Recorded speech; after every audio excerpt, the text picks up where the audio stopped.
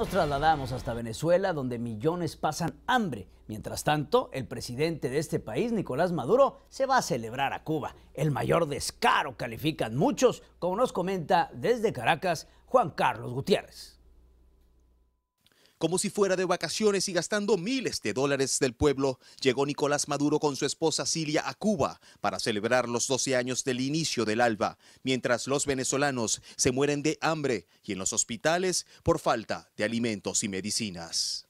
Yo lo que pienso es que el gobierno este, nos está robando a todos los venezolanos.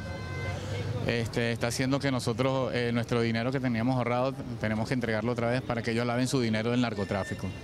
Alba es el responsable de la desgracia en que se encuentra sumida Venezuela. Y mientras Maduro pomposamente asiste al aniversario de su fundación, la población angustiada busca en los bancos cambiar los billetes de a 100 que tiene en su poder.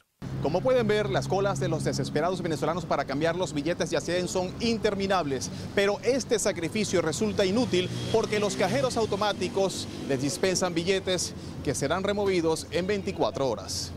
Los bancos aún no tienen la nueva moneda, pero el plazo que dio el gobierno de Maduro para hacer el cambio en ellos se vencerá mañana. Y el caos que se formará será terrible, porque el pueblo tendrá siete días más para hacerlo, pero únicamente a través del Banco Central de Venezuela. Desde Caracas, Venezuela, Juan Carlos Gutiérrez, Estrella TV.